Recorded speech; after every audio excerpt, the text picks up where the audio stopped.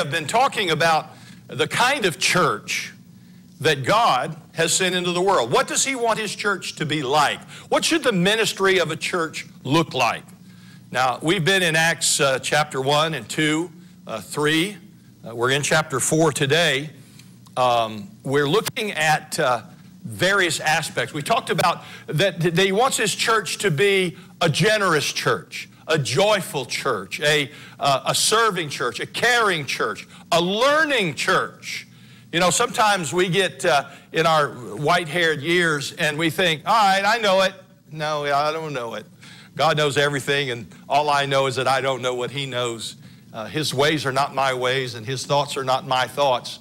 It's, it's important for us to be in the process of learning and growing so that God may make us more like Jesus. How are people going to see Jesus in us if we don't learn what Jesus is like and we don't yield ourselves to that influence, the sweet influence of the Holy Spirit of God working to conform us, as the old King James says, to conform us to the image of His Son. You read that in, in Romans chapter 8.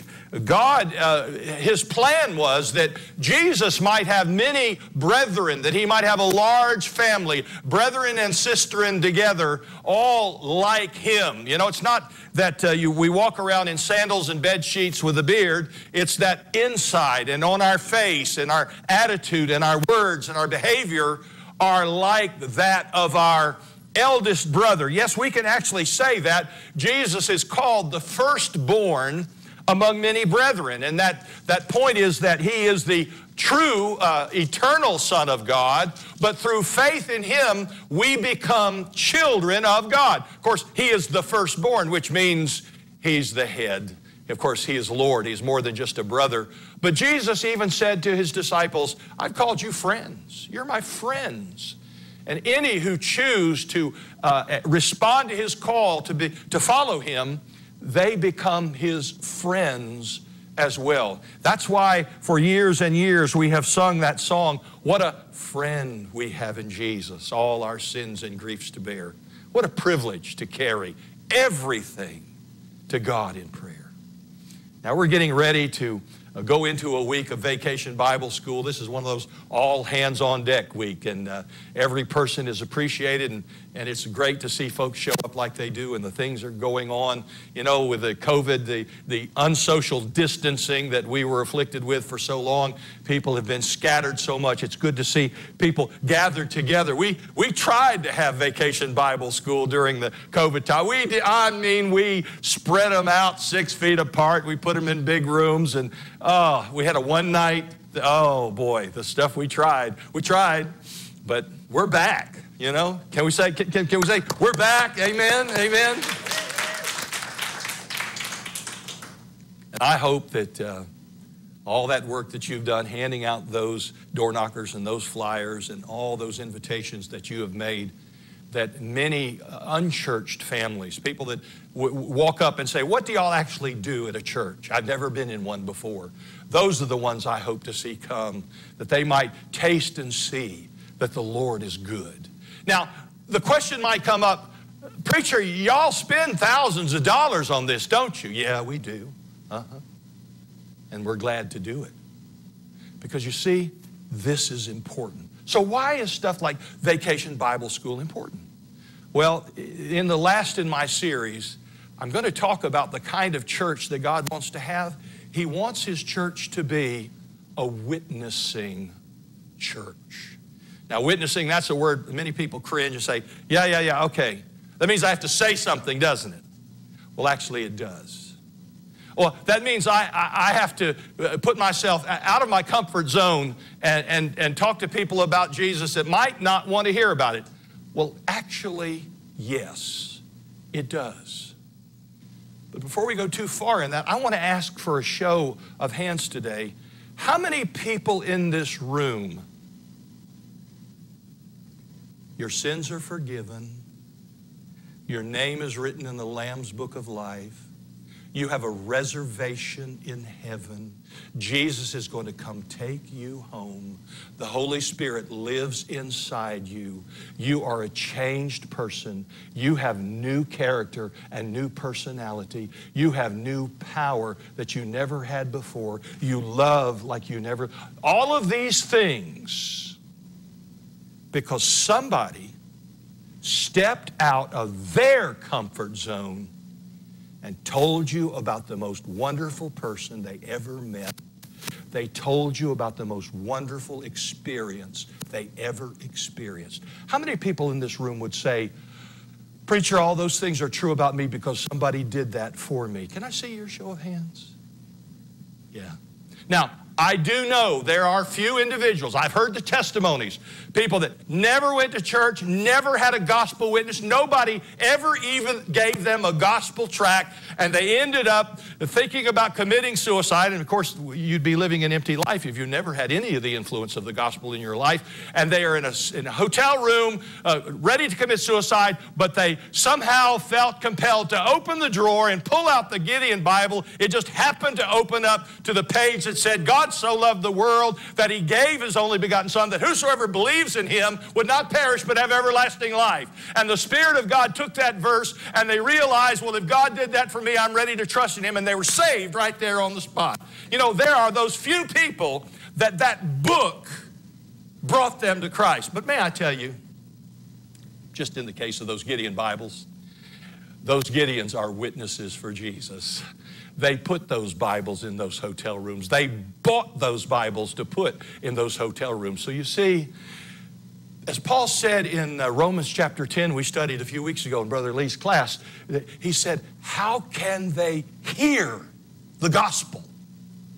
You know, the Bible says in just a few verses ahead of that, faith comes by hearing, and hearing by the Word of God. You're not going to be able to believe in Jesus if you don't hear something about Him. How can you trust in Him of whom you've never heard? That's the question asked by the apostle. And he says, How can they hear except somebody would tell it? And so, may I tell you, please, essentially, the primary purpose of the church after the business of knowing God and living to glorify God, okay? So, what should we be now that we know God and want to glorify God? We're supposed to be a witness. Brother Lee had a great discussion on this in another Sunday school class. I believe it was last week. No, it was in his preaching uh, last Sunday night. And he said, You know, I used to say, I am a carpenter. How many of y'all were here Sunday night? It was a good message. He said, I'm, I'm, but he said, I'm not a carpenter. Being a carpenter is what I do. And I say he does it very well. He's an excellent carpenter. I worked with him for a year. He, he drives nails as good as anybody. He knows where to drive the nails. He knows where to put the boards to drive the nails in. He's really good. But he says, I'm not a carpenter. I do that. There he is. And he walks the door. Good. He didn't have to hear me bragging on him. No bragging on him anymore. But I really, and, and I do appreciate this, it's spoken to me several times this week. I am not a pastor. I'm not a preacher. I'm not a carpenter. I'm not a bus driver. I'm not a. I am an ambassador for Christ. And, uh, you know, that's the cool thing when God helps you to prepare and God helps you with His anointing to speak. It, does some good. It sticks with people. It makes a difference. It feeds their souls. Listen to me. You may do other things, but if you are a follower of Jesus, now you might not be a follower of Jesus. You may be one of those that think you got your fire insurance, now you can just go your own way. Somehow I think those two things are mutually exclusive, but that's for another sermon. If you are a follower of Jesus, you are. You are. You are. Whether you do it or whether you're willing to do it, or whether you're a good one, or whether you're a bad one. Jesus said, this is kind of like the second Great Commission. The, the Great Commission, as we know it, is found in Matthew chapter, uh, what is it, 19 verse, no, last chapter, 28. 28 verse 19, 18, 19, and 20. He says, all power is given unto me in heaven and earth. Go ye therefore and make disciples of all nations, baptizing them in the name of the Father, the Son, and the Holy Spirit, teaching them all things whatsoever I've commanded you, and lo, I'm with you always, even unto the end of the age. That's the Great Commission. But the second Great Commission is in Acts chapter 1 and verse 8. He says, You shall receive power. See, that's the cool thing. We don't have to do this in our own strength. This business of witnessing. Can I, can I just tell you right now? I hate to initiate conversations about things that people don't want to talk about. Do you know what I'm saying? Do you understand where I'm coming from? Because people want to talk about who was the two yo-yos arguing with each other this week? Um, Hollywood people arguing about who, who slandered who or who libeled who and blah, blah, blah, blah, blah. I can't even remember the names, which is fine with me. People want to talk about that. They want to talk about the gas, of course. I, I talk about it a little bit too. $85 in my gas tank, that's something to talk about. But uh, they like to talk about anything. They don't want to talk about the living God. They don't want to talk about Jesus. Why? Because they already know that there's a distance between them and God. They already know, there's already written on the table of their heart that they have sinned and they have missed the mark and then they're not living up to a holy standard. So the whole idea of talking with somebody about God, you got two strikes against you because they already feel uncomfortable. They're coming into the situation as a beggar and we're Americans and we're proud and we don't like to be beggarly. And so we don't want to talk about it. And we'll just say, I'm not interested. All right, that's, that's your truth, not mine. You know, blah, blah, blah, blah, blah, blah. But I'm telling you, why are you here? Why are you alive? Why is your name written in the Lamb's Book of Life? Because somebody stepped out of their comfort zone and said, I'd really like to talk with you about something that you might not want to talk about. Matter of fact, that's a good way to talk to people about Jesus. To ask them permission, say, would you mind if you, if you gave me two minutes and allowed me to tell you something that you might not want to hear? Because they know they don't want to hear it, and you know they know that they don't want to hear it. But sometimes you can ask people and they think, yeah, I can handle anything for two minutes. Yeah, go ahead. I remember a conversation that started out that way back in uh, July of 1972. And I had friends, and the people that I hung out with were people that didn't talk about God. But one of my friends had a friend that loved God. He loved Jesus. He was born again. He was saved. He was not only a saved believer, but he was what you'd call a genuine, bona fide soul winner. It was just his nature. He loved God and he loved people. He was just, uh, oh, a couple years older than I was. He was about 19 years old, getting ready to go to Bible college. He was a friend of my friend, and he just happened to be there that day at the house. And he said, Can I tell you about what Jesus did for me? And I know who I was at that time, and I knew my attitude, what I was like at that time. And I said something to the effect, I'm not interested in that, and I would have words for it that, that I don't want to repeat today. I'm not interested. You know, I, that's your thing, not mine. And he asked me, he said, You might not know what God is really like. Would you let me tell you about what God did for me? And I said, Well, you know, I'm naturally curious. And of course, in the back of my mind, I think, I went to church as a kid and I turned that stuff down. I, I chose to be an atheist. I turned my back on God. I walked away from anything that had to do with God. And for obvious reasons. I wanted to drink and smoke and carry on like my, all my other friends. And I, if, I figured if there was a God, I got to answer to him. So I'm just going to, I'm going to imagine him away. That's basically what atheism is. It's, it's, it's refusing the fact of the reality that the heavens declare the glory of, of God. Just look at any sunset. Oh, yeah, God made that. That's too big for accidental stuff. Anyway, to make this story short, he talked for a few minutes and it, and it got my dander up. I thought, well, I'm gonna, I'm gonna show him. I'm gonna show him how stupid he is. I'm gonna show him how wrong he is, how foolish this whole thing is. And I argued with him. Well, he had answers for every one of my arguments, and they were true. And I couldn't deny them. And it made me madder. And I just kept trying to come up with stuff. And that two minutes ended up being a long time. Now, I'd like to say, and he got through to me, and I trusted in Jesus, and it changed my life, but it didn't. But it stuck in my craw because he told me the truth. See, this is what witnessing is about. How many of you know that if you're going to be a faithful witness, you are not responsible for the outcome? You're not. You don't know what's going to happen. You don't know how people are going to respond. You don't know if you pull up to an intersection, you know, if you smile at somebody, they might just turn around and shoot you anymore. I mean, it's the thing, you don't know what's coming. God didn't make us responsible for the outcome, but God did make us responsible. Jesus said in Acts chapter 1 8, You shall receive power. After that, the Holy Ghost comes upon you, and you shall be. You shall be. That's what we are. That's what we be in the old vernacular. We be that. Be witnesses unto me. Witnesses unto me. Now, I got a lot of stories hanging out here. To kind of finish the one story, the witness of this young man that was a friend of my friend stuck in my craw, and I was going off on my world tour some friends and I got together and jumped in a hippie van and took out across America. And I never stopped thinking about what this guy had said. Ended up about two weeks later on a mountain in New Hampshire. And I never experienced such beauty and such peace in my life. And the Spirit of God spoke to me and said, I made that. Do you want to know me?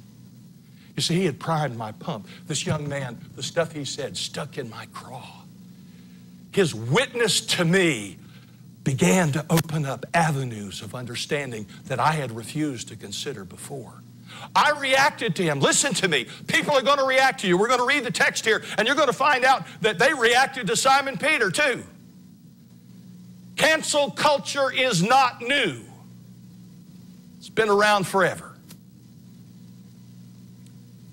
But the witness that was faithful paved the way.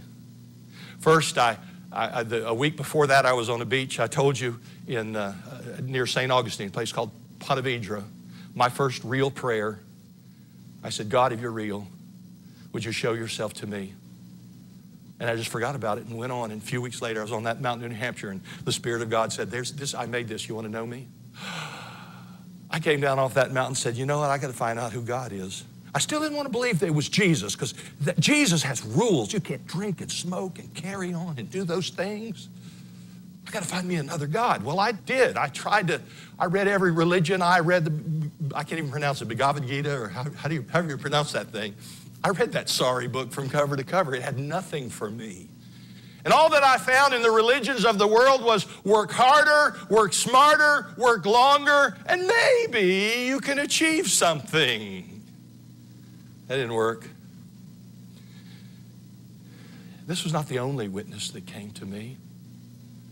During that period of time, I had a very good friend who used to be one of my hippie buddies who owned a sub shop in the town that I lived in. He called it the Yellow Submarine. And he said, I got to tell you what happened to me. Well, I knew this guy. He was cool. He was cool. He was two years ahead of me in high school. You know, they're always cooler than you are because they're older than you are. They got cars before you do. You know, they're cool. And he came to my house and he sat in the chair. I never will forget sitting in that old chair. It was green. And he was always larger than life. He just always did this when he talked. He said, Wow, man. I was washing dishes in my restaurant, and all these Baptists next door, the church next door, used to come in and eat sandwiches and try to talk to me about Jesus. He said, I was washing dishes one night after closing, and he said, God came to me. And he said, I prayed, and Jesus changed my life. And I said,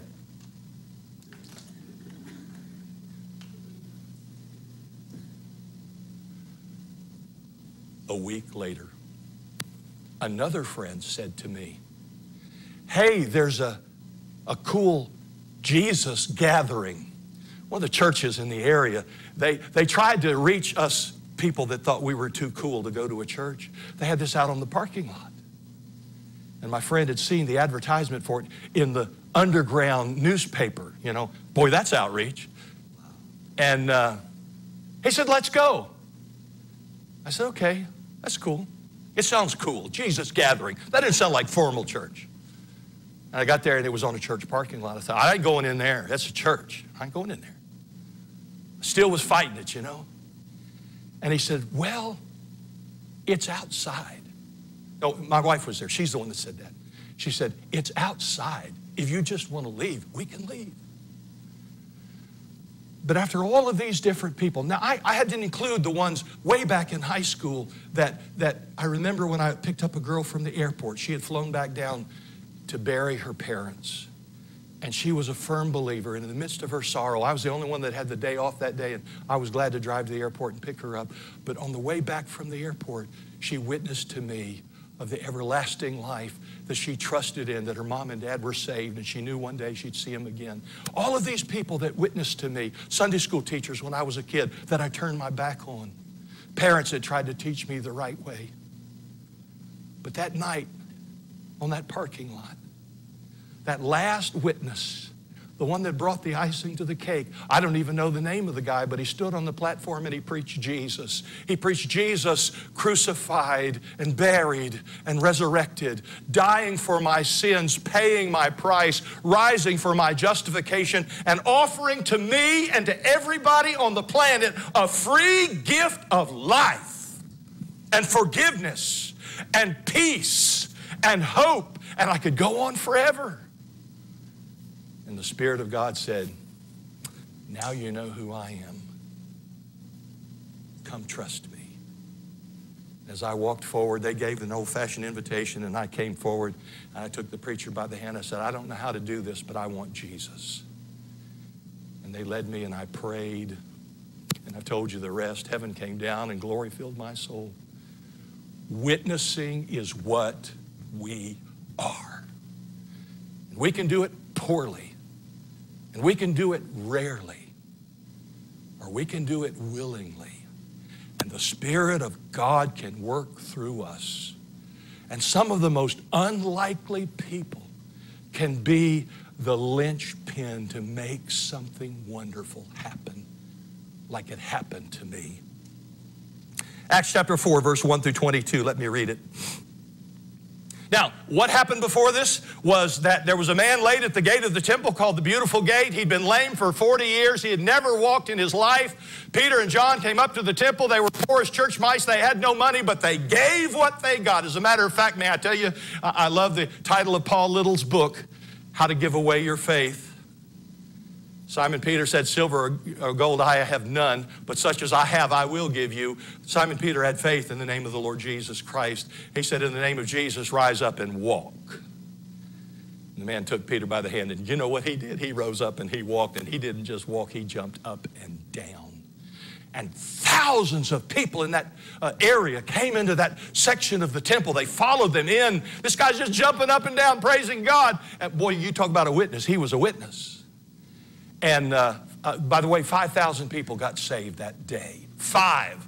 That was only 3,000 on the day of Pentecost. 5,000 today. And so, uh oh, the priest, the Pharisees, the chief council, we got to stop this. We pick up in verse 1 of chapter 4. And as they spoke unto the people, that is Peter and John, preaching about Jesus, and boy, did they preach about Jesus. The priests and the captains of the temple and the Sadducees came upon them, being grieved. They were ticked off. They were unhappy that they were preaching Jesus.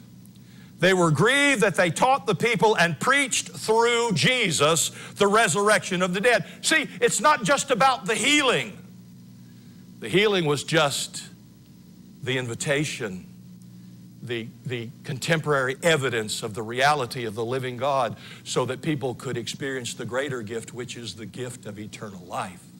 And so Peter and John didn't just preach, this is healing, this is healing, this is healing. They said, no, this healing is in the name of Jesus. And let me tell you about Jesus. He's the one you rejected. He's the one you nailed to the cross. He's the one came out of the grave, and he's the one that can forgive you and give you life.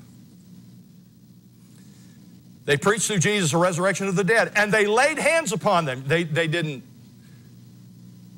tap them.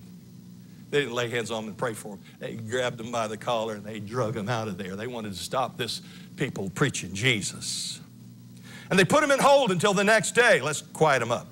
For it was eventide. Howbeit, many of them which heard the word believed. And the number of men was about 5,000. That's 5,000 men that were there. I don't know how many women and children, you know, more, usually more women and children uh, around anyway. Uh, a lot of people. And it came to pass on the morrow that their rulers and their elders and their scribes and Annas the high priest and Caiaphas and John and Alexander, and remember those names, and as many as were of the kindred of the high priest were gathered together at Jerusalem. And when they had set them in the midst, they asked, By what power or by what name have you done this? I mean, they were the religious leaders. They felt we're responsible. We better check this out. I mean, this guy's been lame for 40 years. We've never been able to help him at all. And all of a sudden, he is totally, totally healed, jumping up and down, praising God. How did you do that? Then Peter, filled with the Holy Ghost. And by the way, can I tell you this? I'm not going to have time. Let's just say it briefly. If you are willing to be a witness, God is willing to fill you with His Holy Spirit. If you've ever experienced that before in your life, would you say amen? Wow. There's a number of witnesses in this room of things that they have seen and heard. So, filled with the Holy Spirit, Simon Peter uh, stands up and he says to them, You rulers of the people and you elders of Israel, if this, this day we be examined of the good deed done to the impotent man and by what means he is made whole, oh, okay, if you're asking, let me tell you, be it known unto you all and all the people of Israel that by the name of Jesus Christ of Nazareth, I tell you what, before I came to Jesus, I used his name as a cursed word. But now I speak his name in reverence and love. And Simon Peter did that day. In the name of Jesus Christ of Nazareth, whom you crucified, whom God raised from the dead. Even by him does this man stand here before you complete. This is the stone, speaking of Jesus, which is set at naught of you builders, which has become the head of the corner. He's the chief cornerstone. Neither is there salvation in any other, for there is none other name under heaven given among men whereby we must be saved.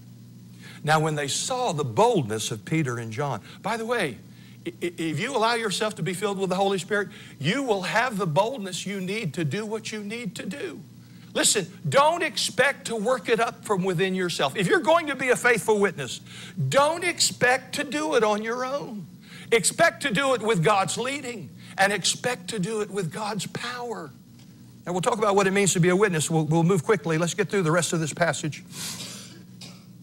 Uh, so they, they saw the boldness and they perceived that they were unlearned and ignorant men. They spoke with a Galilean accent. They were fishermen.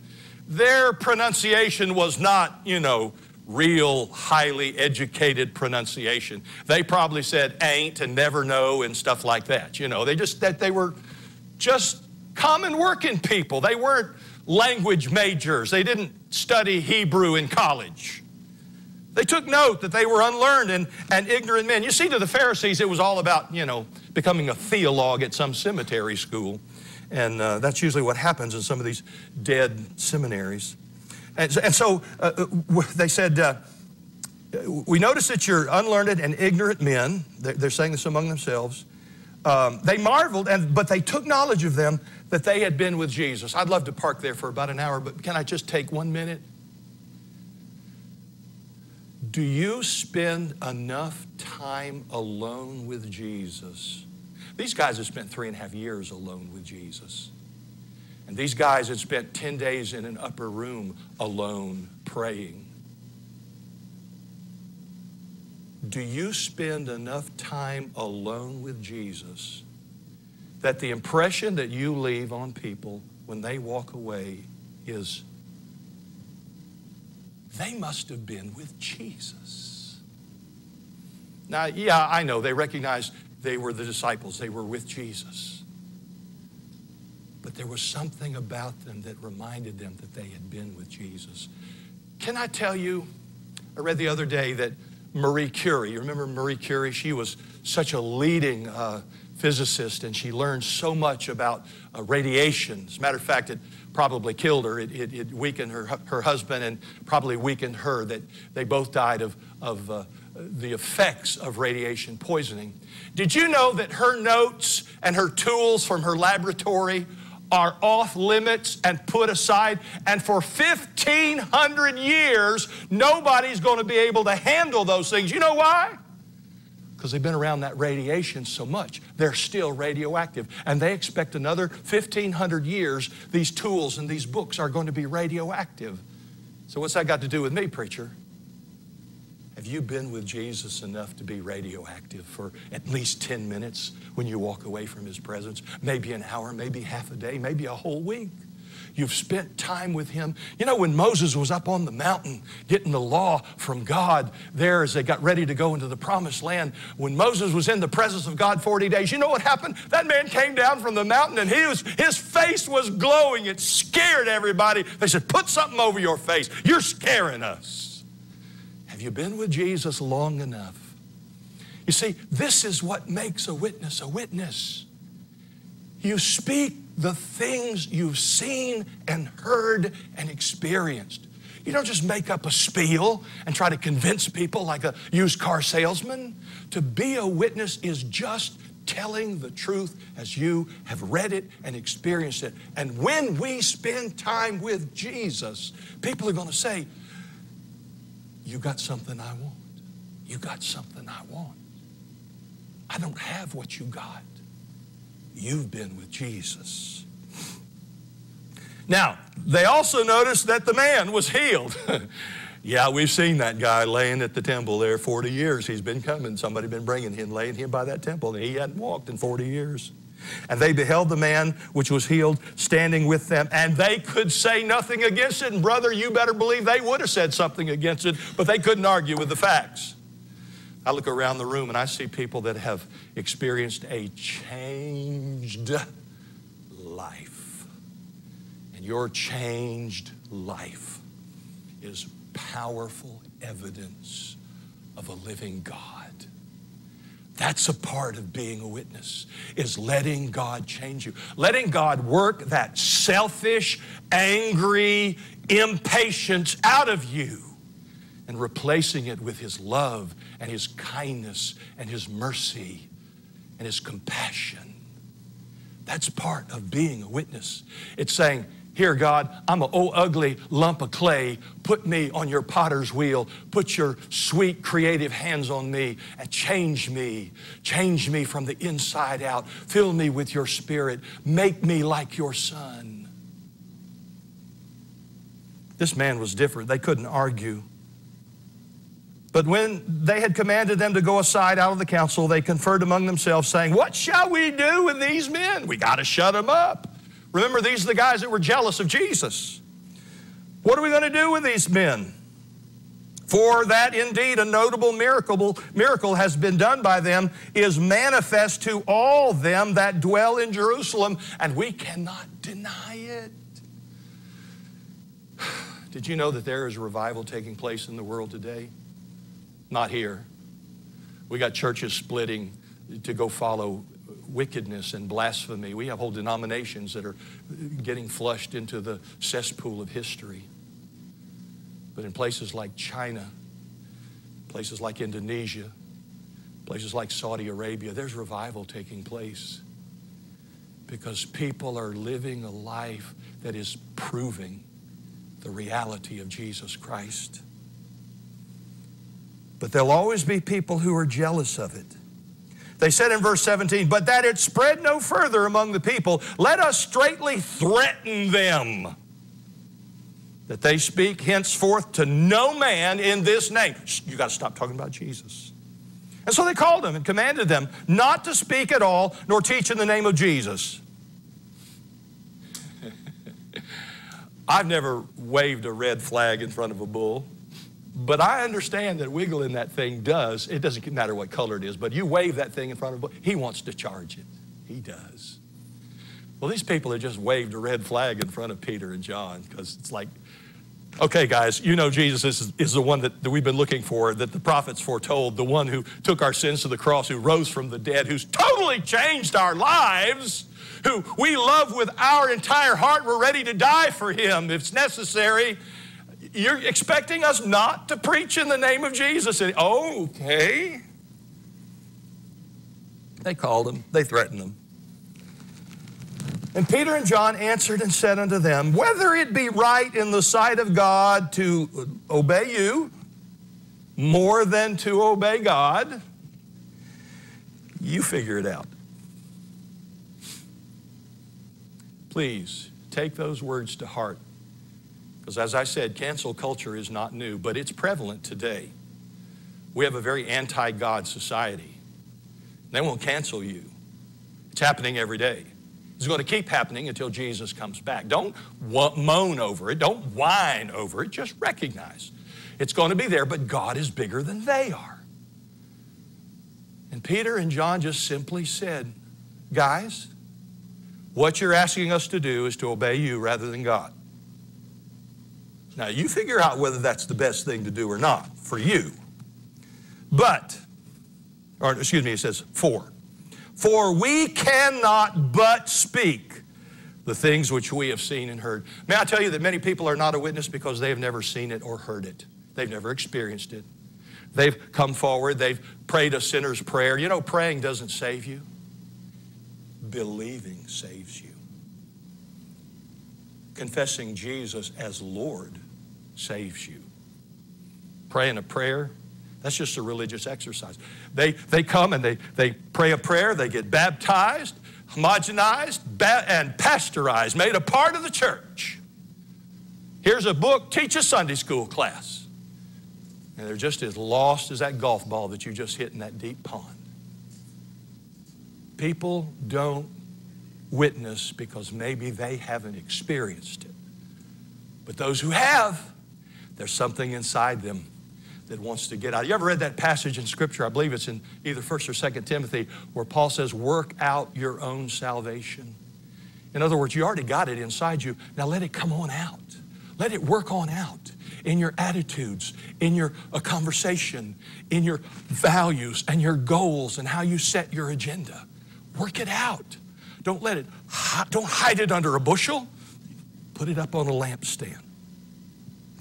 So he says, All right, you, you, y'all just judge that. But we cannot help but speak the things that we have seen and heard. So when they had further threatened them and they let them go, finding nothing how they should punish them because of the people, because they knew they punished them, the people were, were going to take up arms against them. You see, it was all just old fashioned political jealousy on their part. But they threatened them anyway. They saw that all men had glorified God for what was done, for the man was above 40 years old on whom this miracle of healing was showed. Quickly, let me make some points and we'll be done. Jesus said, Be my witness. This is who we are. We are his representative, we are his ambassador. And Peter said, We cannot but speak the things that we have seen and heard. Those who are in Christ are new creatures, and we are created in Christ unto good works. The whole business of being born again, the whole business of God recreating in me a new life enables me to be a witness. He changed me from being an enemy of the cross to a proclaimer of the cross. And it is His creative power that works in us. Jesus calls His people the salt of the earth. That means flavor. And we should be walking salt. The salt of his character should affect how we live our daily lifestyle. And we should also be talking salt. I hear those that say, you know, be a witness, and if you have to, say something. Listen to me. You should first live the life. But as you live the life, you've got to speak because how shall they hear except there be a preacher? That's the central argument. That's why Jesus didn't call us to be just models for the world, He called us to be witnesses to the world.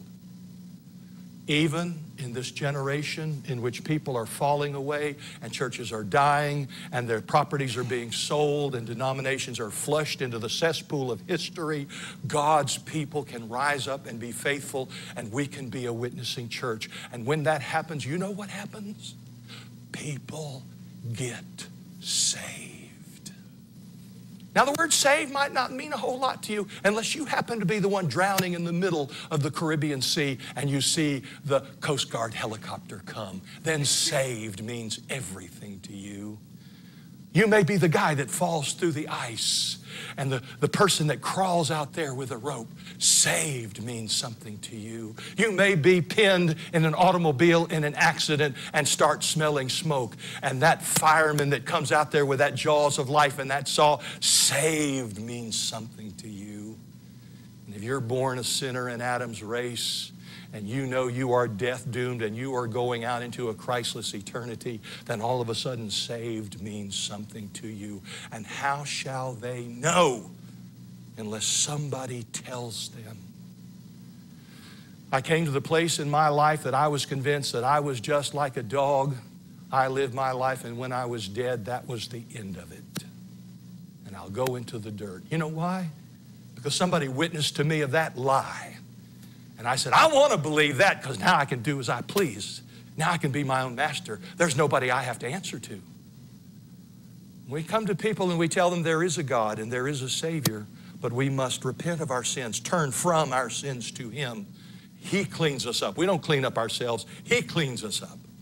But we must turn to Him in order to do that. It doesn't feel good when you tell people that. But when you tell them that He will receive them, He will love them, and if they're listening, they'll hear the Spirit of God speaking to their heart, saying to them the same thing that you're speaking out of your mouth. Maybe they'll react to you like I did to that friend of a friend. And maybe later on down the road, maybe years later, they'll come to Christ. But the important thing is you sowed the seed. You were a faithful witness.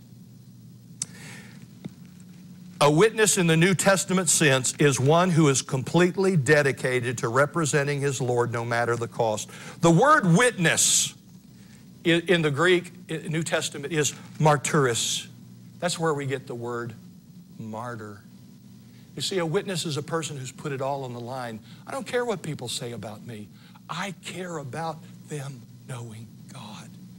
Maybe they'll hear it. And this is what a witness is willing to patiently face the opposition.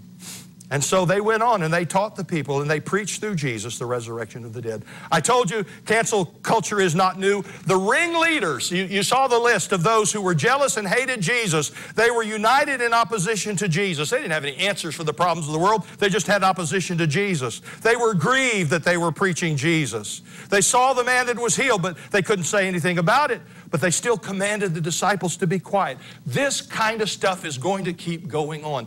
Don't let it ruffle your feathers. Jesus said, In this world you'll have tribulation. But you know what else he said right then? Right at the end of that, he said, But be of good cheer. I have overcome the world. You know, being faithful can cause you moments or days or weeks of discomfort and temporal loss. I've lost jobs because of my faith in Christ. I have lost friends because of my faith in Christ. But I found out they weren't really friends. You see, telling the truth separates people from truth listeners and truth haters. There's always going to be cancel culture. But the message of the witness is Jesus. An old preacher one time, and I'm, I'm about through, hang on. Old preacher told me one time, he says, Son, Connie Hargrove, he was an old man from Kentucky. He was just the real deal. He was just, he, he, he, he presided over our ordination when I was ordained as a deacon. And uh, he said, Son, I, I think you're going to be a preacher. I didn't know it at the time. It was two years later when I, I really knew God's call uh, for me to the ministry. He said, I think you're going to be a preacher, son. Let me give you a word of advice. He says, Preach anywhere you want to in the Bible. Preach from Psalms, preach from Genesis, preach about marriage, preach about economics, preach. The Bible talks about all of it. But whatever you preach, in your message, you make a beeline to the cross. I'll never forget that phrase. Make a beeline to, you know, bees go whoop to the hive. They got that nectar, they're ready to bring it back to the home. Make a beeline to the cross. That's what a witness does. We listen to people. We care about people. Don't be such a hurry to force your opinion on somebody else. Don't, don't do any buttonholing. Don't do this to people. Listen to them. Care about them. You've heard the phrase, it says it well. People don't care what we know until they know that we care. Show them that you care. But when they realize that you're interested in their eternal destiny, make a beeline to the cross. Because there's none other name under heaven given among men whereby we must be saved. The reason I preach Jesus is because no one else can save. No one else. There is no other way. God did not design a plan B. It's Jesus or a Christless eternity. That's why I'm a witness. Because not only is He the only choice, He is the best choice. He is the choice. Peter explained the healing by Jesus. He explained everything by Jesus. Verse 19, and I'm closing. He told the, the, the council, all right, you guys, y'all argue about whether we should obey you more than God, but here's the bottom line. We are going to speak the things we've seen and heard.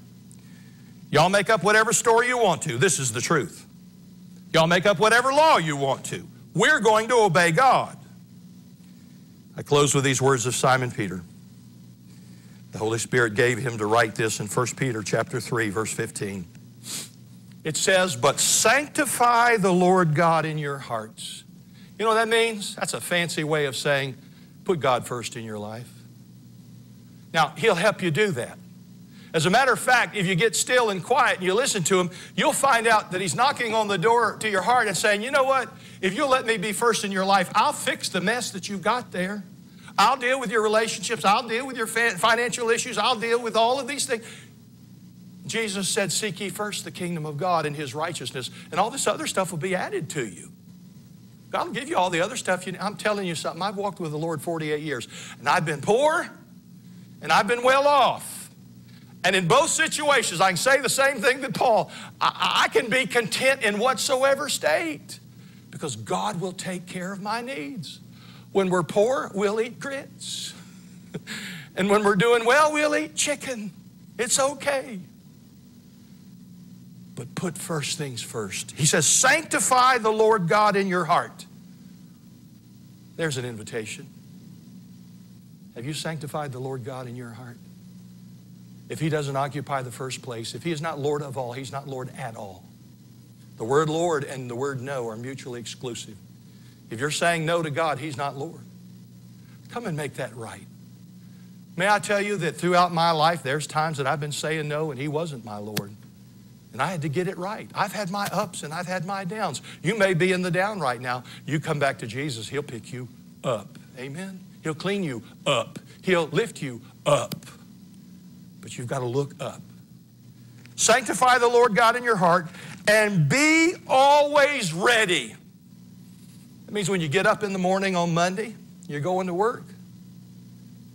Think about the fact that maybe going into the lunchroom, the break room, whatever they call it, and leaving an extra chair at the table that that may be what God wants you to do that day. That somebody might sit at that table and you might talk about, how about them Braves? They're on a winning streak and one thing will lead to another and, and, and they'll talk about something on Sunday. You say, well, I, I go to church on Sunday. And they look at you like, uh-oh, it's a Christian.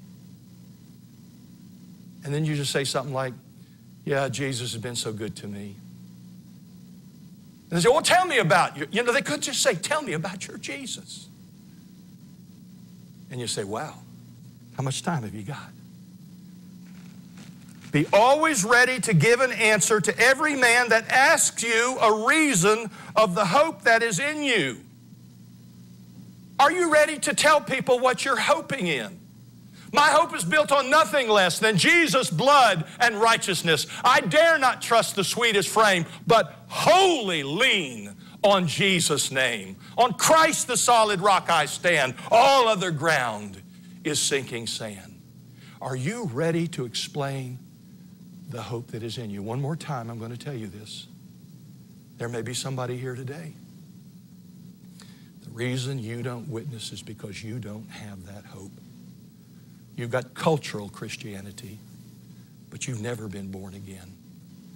Billy Graham said in his ministry that he thought that half of the members of the churches of this country were lost. And they went through the motions, but they didn't know Jesus. I'm not trying to scare anybody, but I'd like to, I'd like to tell you the truth. You won't speak of the hope that is in you if you don't have that hope. And we do it with meekness and fear. If we're going to be a witness, we must speak the truth in love. And don't forget either one to speak the truth or to speak it in love.